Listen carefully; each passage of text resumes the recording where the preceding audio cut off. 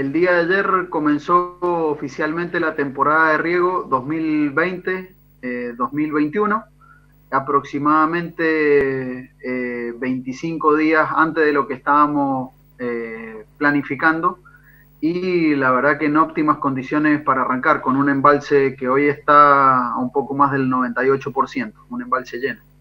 Juan Pablo, ¿han tenido algún tipo de complicaciones en cuanto a, por ejemplo, denuncias? Teníamos entendido que se detectó, se hizo notar muchísima basura en, los canales de riego, ¿es así?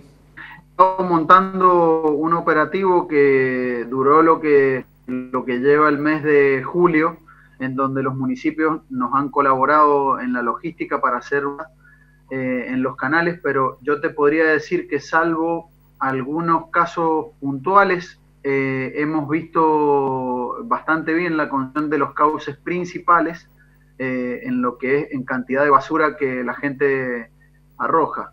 Hemos hecho el operativo como lo hacemos todos los años eh, en la temporada de riego comenzó y fue normal el abastecimiento de agua, las inspecciones de cauce.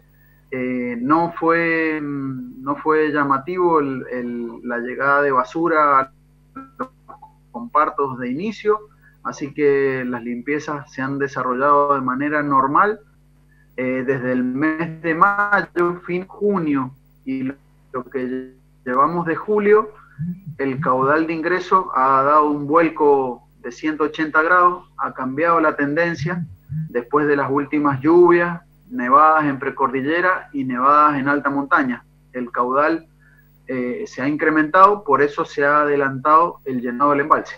En lo que es la red interna de riego dentro de las inspecciones de cauce, faltan todavía que eh, las inspecciones y regantes hagan la limpieza anual de cupos. Recordemos que esta tarea es muy importante y a su vez recordarles que seguimos en situación de hasta tanto el pronóstico no nos arroje eh, un dato concreto diferente.